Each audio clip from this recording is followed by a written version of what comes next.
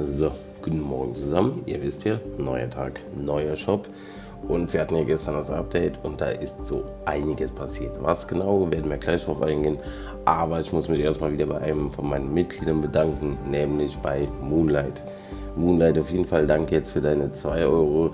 Insgesamt hast du jetzt schon 11 Euro gespendet. Also Gruß geht ja wirklich raus für den Support. Danke, danke, danke. So, dann kurz, was kam gestern neu rein? Genau, Liebe und Krieg Event kam rein, Suchen und Zerstören kam rein. Also ich muss sagen, mit Suchen und Zerstören hat Epic schon mal nichts verkehrt gemacht. Also ich feiere den Modus. Das Problem ist wieder, es gibt natürlich wieder keine Erfahrungspunkte dafür. Das ist natürlich dann irgendwo ein bisschen ärgerlich. Aber ich muss sagen, so mit dem Stream zusammen macht das Ganze schon Laune. Ich glaube, wenn man solo unterwegs ist, ist das Ganze echt ein wenig anstrengend weil wir haben selber gemerkt, wir sind immer zusammengeblieben im Team. Aber wenn die Gegner dann gemerkt haben, oh, die spielen anscheinend irgendwie zusammen, ist immer mal wieder einer rausgegangen. Irgendwann spielst du nur noch gegen drei, dann nur noch gegen zwei, dann nur noch gegen einen. Also das macht das Ganze natürlich ein bisschen kaputt, aber es ist auch das Problem, dass viele überhaupt nicht verstehen, was sie überhaupt machen müssen. So, aber da werden wir uns auf jeden Fall zusammen dran setzen. Ich denke mal, das werden wir auch zusammen alle Mann schaffen.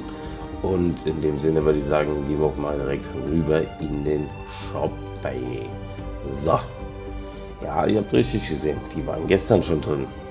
Das Problem ist aber, Fortnite hat sich gedacht, weißt du was, wir machen ein Update und machen den ganzen Shop einfach mal komplett neu.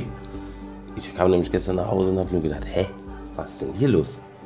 Aber gucken wir erstmal selber rein. Also, hier ist das komplette Paket für 2000 V-Bucks, äh, 2400 V-Bucks. Also, wenn ihr von der neuen Serie alles haben wollt, dann empfiehlt sich natürlich das große Paket. Wenn euch nur ein einzelner Skin gefällt, dann natürlich das einzelne. So, da haben wir hier einmal die Eisenfratze. Da muss ich wirklich sagen, bei den Skins bin ich wirklich wieder so zwiegespalten. Ich weiß nicht, hier ist irgendwie so drei Farben ineinander. Hier ist halt ja Schnee. Dafür kam man jetzt ein bisschen zu spät. Dann hätten sie ihn ungefähr ja, nach der Weihnachtszeit bringen müssen, wo noch mehr Schnee lag. Und die Variante, ja, die ist, also ich würde sagen, wenn ist die spielbar. Aber die anderen zwei sind da irgendwie ein bisschen, ich weiß nicht.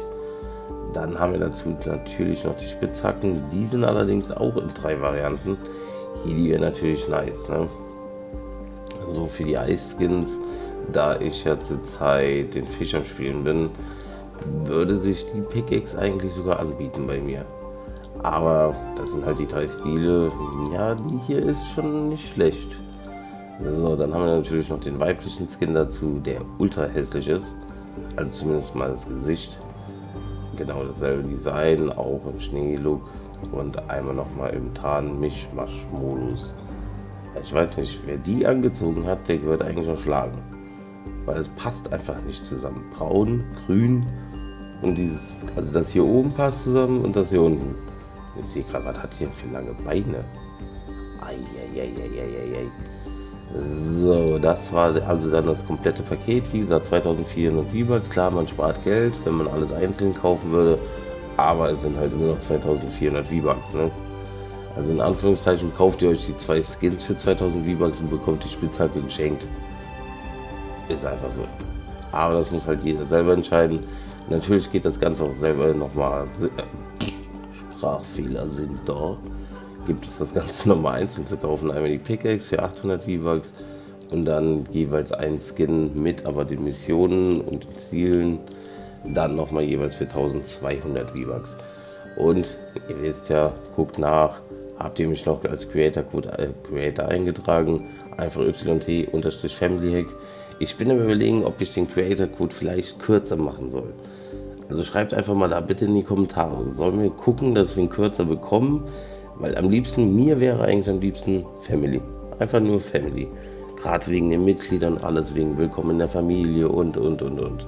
Aber guckt bitte nach, ob der Creator Code eingetragen ist. Nicht, dass manche wieder vergessen. Ich grüße da gewisse Leute. So, dann haben wir erstmal die Spitzhacke, Herzschmerz, schmeckt definitiv. Und natürlich noch den passenden Skin dazu, auch Steinherz. Von mir kommt der noch gar nicht so neu vor, weil ich gerade sehe, Season X. Der Skin ist halt echt nice. Das ist halt so ein zeitloser Skin. Den kann man halt wirklich das ganze Jahr spielen, wenn es sein muss. Und die Flügel. Die Flügel sind natürlich. Oha. Flügel sind immer gut. Da muss ich ja echt sagen, seitdem ich jetzt die Eisflügel da habe, Flügel sind echt nice. So, das war dann das. So, was haben wir hier noch Schönes? Genau, Wild X, man kennt es. Würde, hätte zwar eher zu Season X gepasst, aber da hatten sie noch keine Lust, das Ganze rauszubringen. Dann gibt es natürlich die passende Riley dazu. Mit dem passenden Rückenaccessoire. Rückenaccessoire, ja, ich mag diese Tasche nicht. Die Tasche haben wir ja öfters drin, aber der Skin ist natürlich nice. Also für 1200 V-Bucks, das, halt, das ist halt wirklich ein 1200 V-Bucks Skin. Kann man auf jeden Fall mitspielen. Ist auch zeitlos, also kann man eigentlich jedem empfehlen. So, dann haben wir die Rächerin dabei. Der Skin gefällt mir halt immer noch. Ich habe ihn mir damals mal gekauft. Aber da war ich dann doch wieder zu geizig. Ich habe hab mir nur gedacht, ach, der Skin ist zu hell, bla bla bla. Aber der Skin an sich auch in-game auf jeden Fall top. Aber wie immer muss jeder selber entscheiden. Und dabei bin ich überhaupt nicht so auf so einen Rocktrip oder so. Aber der gefällt mir wirklich, der Skin. So, dann haben wir die Wutstreiterin. Die kam gestern Abend rein, ne? Ich meine ja. Ist auch wieder alles mit X. Man könnte meinen, wir hätten Season X. Wir haben nicht Season X. Aber für 800 V-Bucks auf jeden Fall lohnenswert. Also für 800 V-Bucks machen wir bei dem Skin wirklich nichts verkehrt. Ich bin überlegen, ob ich mir den nicht noch selber kaufe. Aber da müssen wir erstmal gucken. Ich schätze mal, da mache ich das mit dem anderen Account. Weil hier auf dem Account will ich wirklich den Battle Pass auf ganz sicherer Basis haben.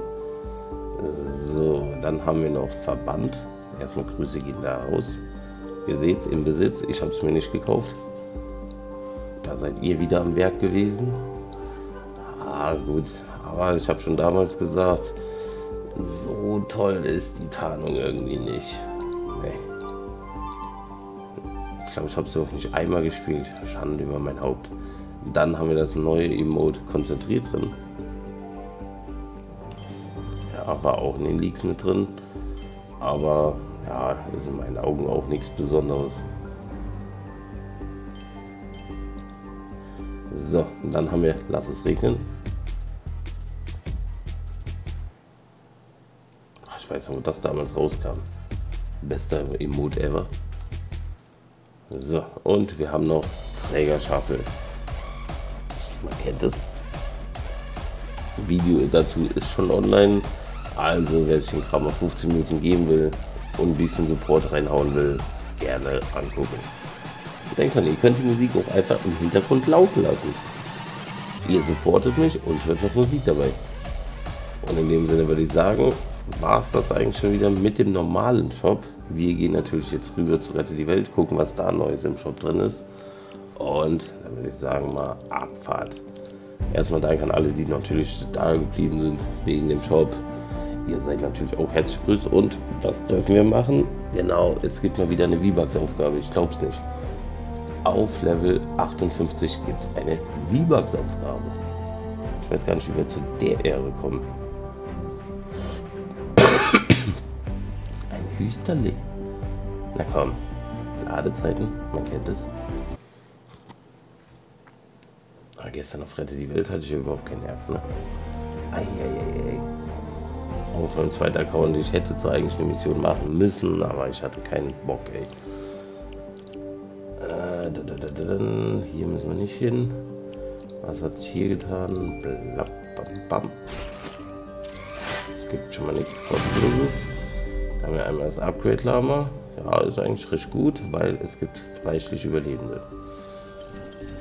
Dann das Super Anhänger Lama. Tja, Schleuderaffe. Wirst du es dir kaufen? Gibt ja mythischen Helden. Ach, Helden, Überlebenden. So, dann haben wir. Ah, wollte schon gerade sagen. Hä, null Tickets? Wie habe schon das hingekriegt? Als ob ich auf null rausgekommen bin. So, dann was haben wir Neues? Ich sehe gar nichts neu. Nichts Besonderes drin. Nur die Wandfalle und der Baseballschläger. Eieiei. Also ein bisschen enttäuschend, sag ich jetzt mal ganz ehrlich. Die direkt mal gekauft, bevor ich sie wieder vergesse. Ich habe nämlich auch vergessen, mir die Mets zu kaufen.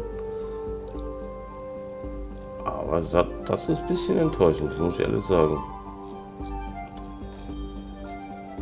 Also es gibt nur diesen Baseballschläger und die Wandskizze.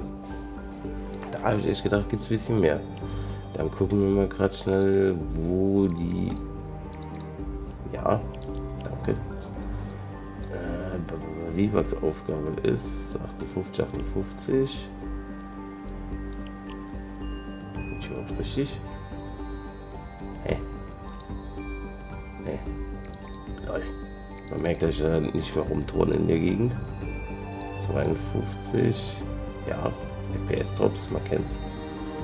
Muss ja dann hier irgendwo sein. 52. Ah, da. Wie gesagt, einmal den Schutzbogen reparieren und schon hat man 35 V-Bucks, kann man sich mitnehmen. Und ich würde sagen, erstmal dann Dankeschön fürs Zuschauen. Denkt dran, vergesst nicht ein Like da zu lassen und in dem Sinne haut rein.